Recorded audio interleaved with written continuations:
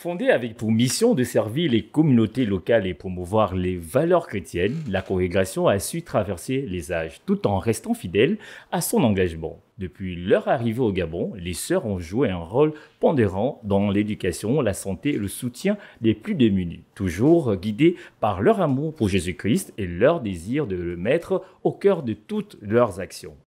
Tout au long de l'année jubilaire, nous avons eu l'occasion de relire les écrits et en relisant ces écrits, euh, nous avons eu la grâce de, revivre euh, la mission avec les sœurs et nous laisser remplir par ce zèle missionnaire.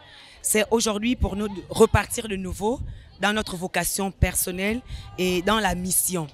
Les débuts de cette mission n'ont pas été sans défi. Les sœurs ont dû faire preuve de résilience et de foi pour surmonter les obstacles qu'elles ont rencontrés. Leur dévouement sans faille a été un témoignage vivant de leur engagement à servir et à apporter leur amour du Christ aux autres. À 175 ans, c'est toute une histoire. Donc nos premières sœurs, quatre, sont arrivées en 1849 ici au Gabon.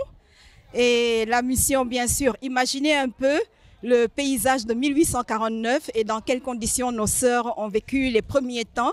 Si vous lisez le livre des 175 ans avec euh, toutes les péripéties qu'il y avait, les serpents, qu'elles n'avaient pas de lieu, mais c'est une belle histoire. Et aujourd'hui, voilà, nous sommes, nous, 175 ans après, et nous voulons vraiment célébrer cette joie.